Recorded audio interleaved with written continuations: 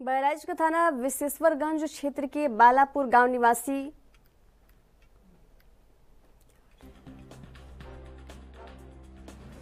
सड़क हादसे में शिकार हो गए। आपको बता दें कि दोनों युवक बाइक से इकोना बाज़ार सामान लेने गए थे, जहाँ से वापस आ रहे थे। तब तक उनके घर से तकरीबन 500 मीटर की दूरी पर अज्ञात बोलेरो ने उन्हें टक्कर मार दी। इस हादसे में बाइक चालक लौकुश पांडे की मौत हो गई तो वही पीछे बैठा शिवम गुप्ता गंभीर रूप से घायल हो गया। डॉक्टरों ने उसकी हालत गंभीर देखते हुए लखनऊ रेफर कर दिया है। पुलिस ने मृतक के शव को कब्जे में लेकर पोस्टमार्टम के लिए भेज दिया है।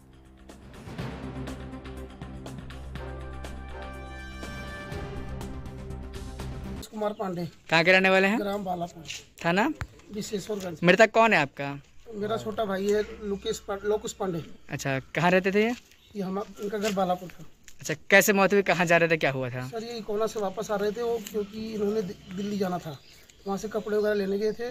तो वही रास्ते में आ रहे थे तो वहाँ पे जो चमारन पुरवा है वहाँ पे मतलब इनका एक्सीडेंट हो गया।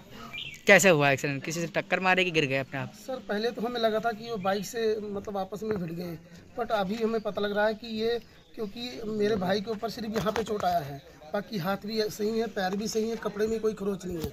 अगर बाइक से चोट लगता है तो उसको खरोच आ जाती है। इसलिए मतलब जो भी मार के गया ब्लोरो या जो भी बड़ी गाड़ी थी क्योंकि जब हम यहाँ से गए ना तो दो चार लोग बोले थे ब्लोरो का एक स्पीड बहुत तेज़ जा रहा था। तो सर ऐसा कुछ हो सकता है? बाकी हम कन्फर्म नहीं बोल सकते। हैं नहीं एक साथ में लड़का भी बैठा था पीछे। ये चला रहे थे गाड़ी। क्या नाम था उसका? शिवम शिवम गुप्ता। अच्छा वो उसको उसको क्या हालत है अभी? वो थी, अभी ठीक ठाक है।